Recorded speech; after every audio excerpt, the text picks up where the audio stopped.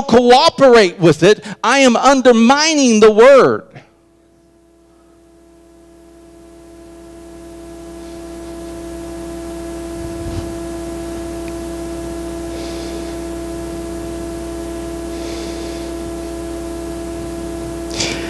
Romans 10 9 and 10 says that if you confess with your mouth the Lord Jesus and believe in your heart that God has raised him from the dead, you will be saved.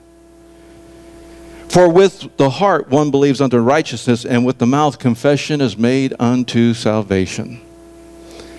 Now, I will encourage you with the strongest possible means that I can.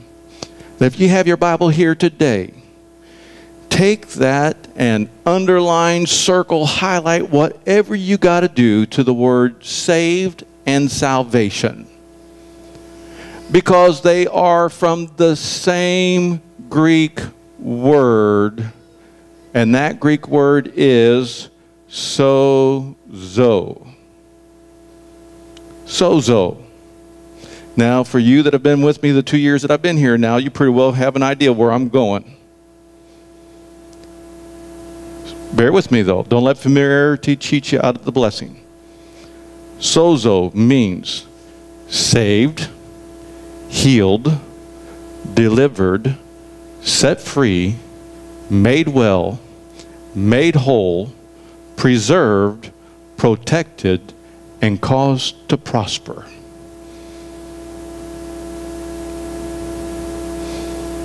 Ready? Saved healed, delivered, set free, made well, made whole. I lost my thought there for a minute. Let me back up. Saved, healed, delivered, set free, made well, made whole, preserved, protected, and caused to prosper. Nine different attributes.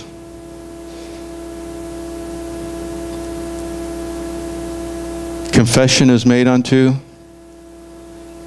saved, healed, delivered, set free, made well, made whole. What you say has a lot to do with what you've got. But it begins by hearing.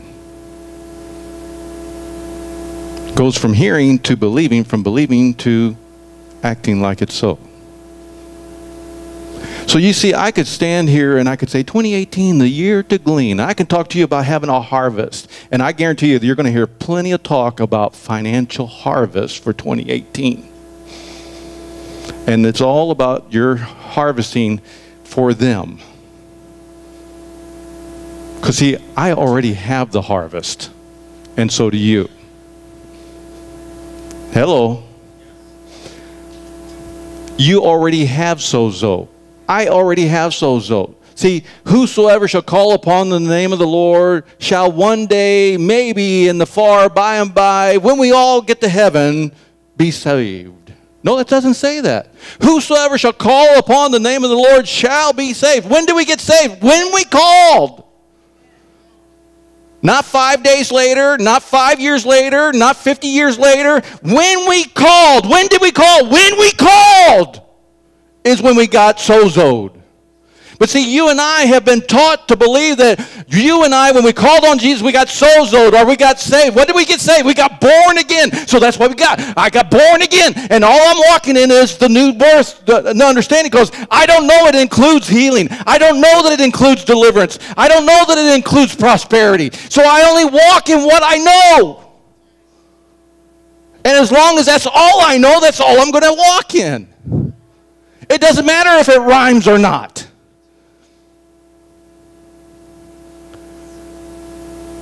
See, I remember as a boy growing up in a particular church, we were taught that God would make you sick and that he would use it to teach you a lesson or he would use it to humble you he would use it to get your attention or draw you closer and all these ridiculous religious ideas that really came from the pit of hell to keep us in bondage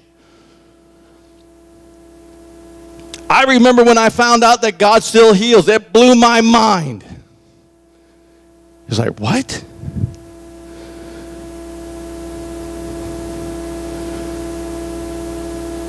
See, as long as I believed that all I got was born again, then all I could enjoy was being born again. But you know what I found out? You hang around the pool long enough, you'll get wet. So I kept hanging out around the Word, and guess what? I started getting educated about the Word. I started learning some things from the Word of God and started finding out what truth really was. And that truth set me free from the lies that I had been indoctrinated with from my childhood.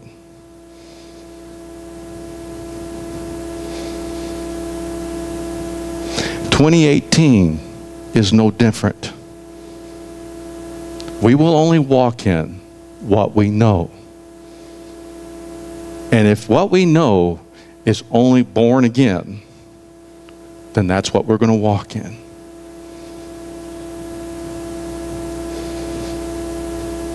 We have to be willing to open up our hearts and minds and see the truth of God's Word.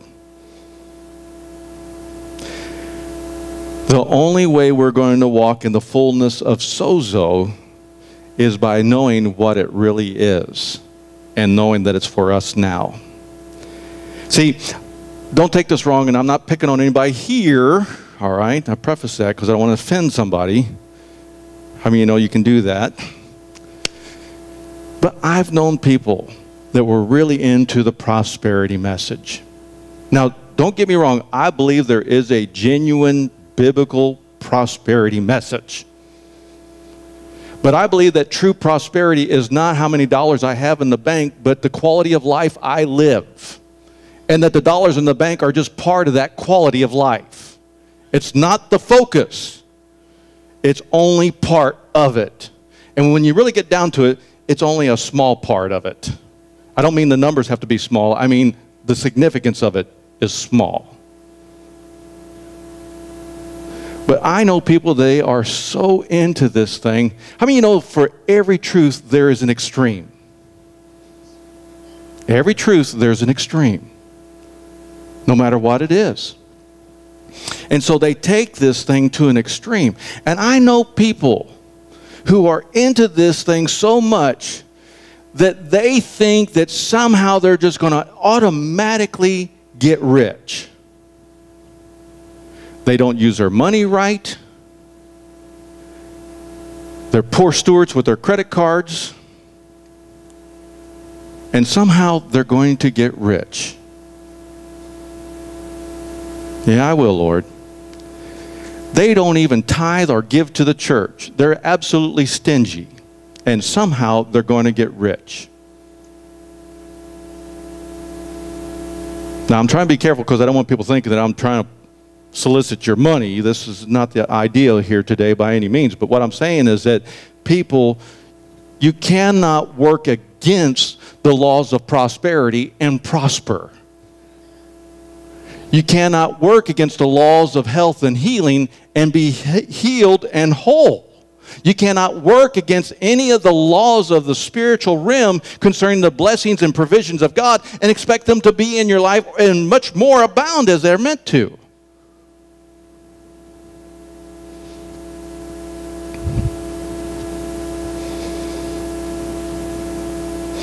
Turn with me to John 10 for just a moment. John 10, very familiar verse, and verse 10. John 10 and verse 10. Jesus said here, the thief does not come except to steal and to kill and to destroy. I have come that they might have life and that they may have it more abundantly. The word life there is from the Greek word zoe, and it literally means the life that God is and has. I have come that you might have zoe life, or eternal life, or life as God is and has. Isn't that wonderful? That's what happened when you and I got saved. When you and I accepted Christ, we received Zoe. But notice he said that they might have it more abundantly. Just because you got it doesn't mean you have it in abundance. The provision is in abundance, but it doesn't mean that we are walking in the abundance. Just like sozo means all those nine different things, but we may be just walking in the light of the new birth, the saved part, as we always refer to. But we're not having the abundance of it.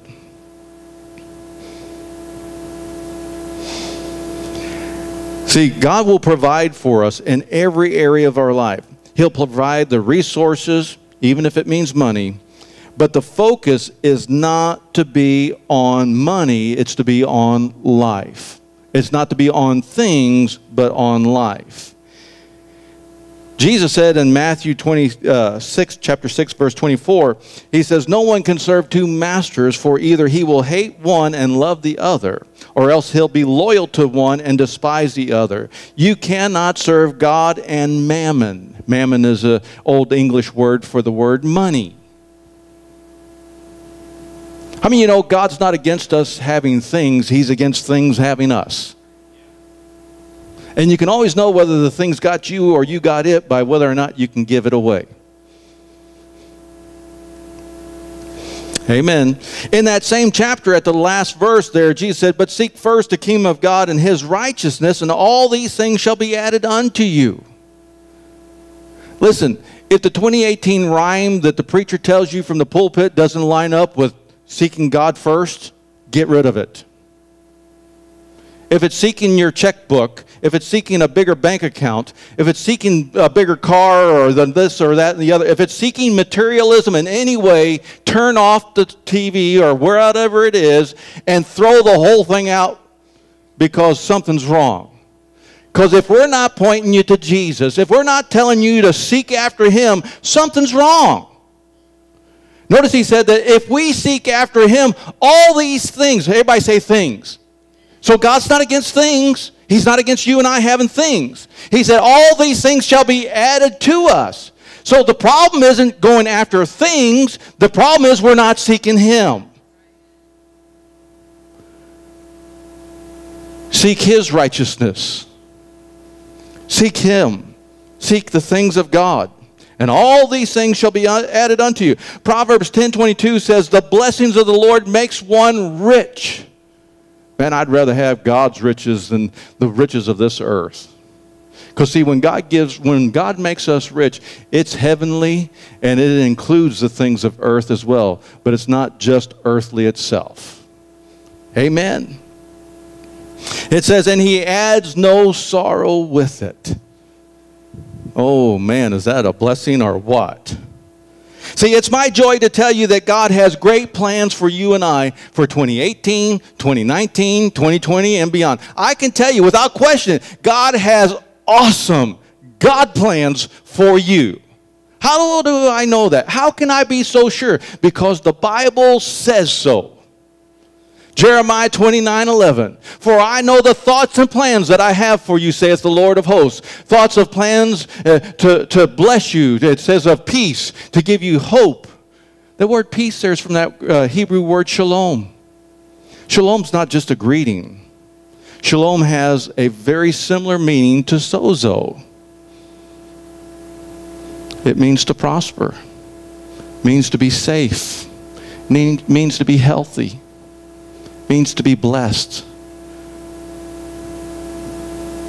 Did you know that the word blessed means to be happy, fortunate, and to be envied?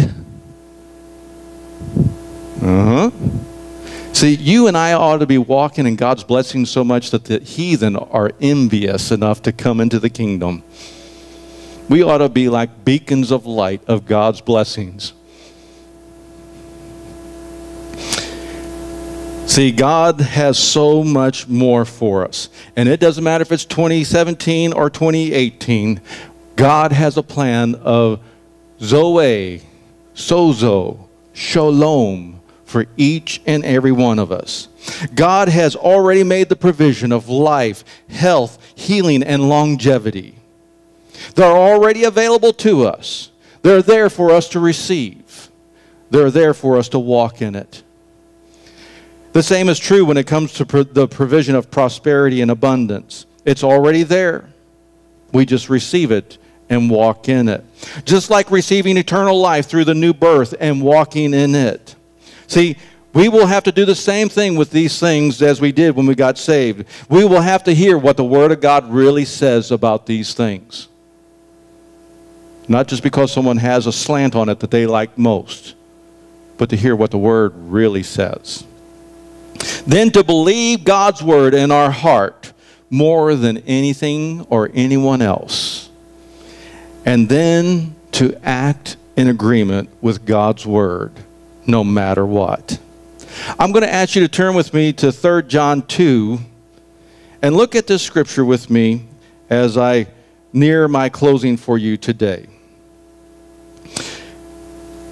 John's third epistle in the second verse says, Beloved, I pray that you may prosper.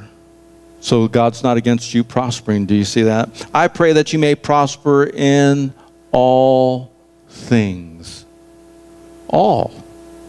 Well, I don't know about you, but last I knew, all meant all. So if it's all, then it must mean all. If it means all, it means all. So it must mean all. Getting it? And some people say, yeah, but. They didn't say but. That's the problem. You need to get your butt out of the way. That you may prosper in all things and be in health it's God's will for you to be healthy. It's God's will for you to prosper. Just as your soul prospers. I want you to notice the words all things. These two words, all things, actually come from a Greek word, one Greek word. And they do mean all things, but they also mean the whole, every kind. God wants you to prosper in the whole of it. God wants you to prosper in every kind of it. God wants us to prosper in every area of our lives. But the key to our prosperity is not whether God is giving or withholding. The key is not whether the enemy is arrayed against us or not. The key is not what this system of the world is designed and all those things. The key is this. Look at the last part of the verse. As your soul prospers. The keys to prosperity of our soul. As a man thinks, so is he. As long as our minds are in the conditions that they are, we will continue to live in those conditions. Think about it. Until you heard the gospel, worked on your mind, didn't it? Made you change the way you thought about some things. You believed and you responded, right? See, God wants our souls to prosper. Why? Because He knows that the more our soul prospers, the more our life prospers.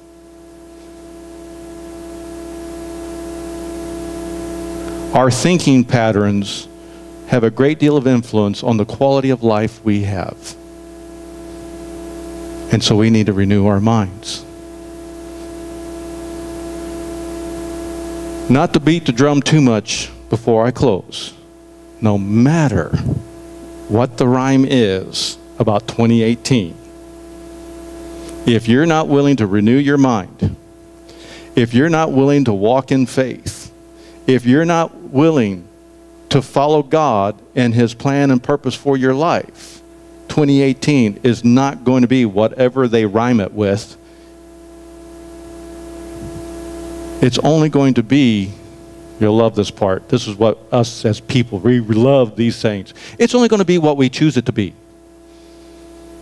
Because, see, the responsibility for your life is not me.